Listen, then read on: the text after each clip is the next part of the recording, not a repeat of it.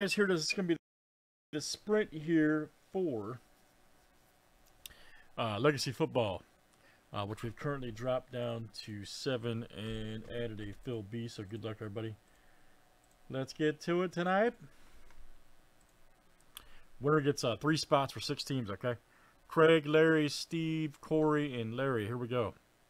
One, two, three, four, five, six, and seven. And we're off tonight.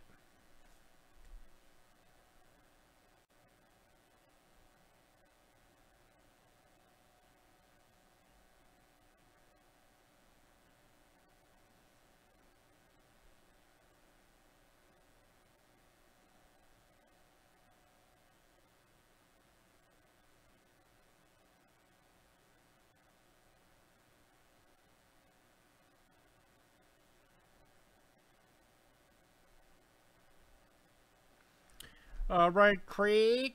All right, so Craig F, you got it, man. Very good. All right, so Craig, you will have six teams in upcoming Legacy. Thanks, guys, for joining. All right.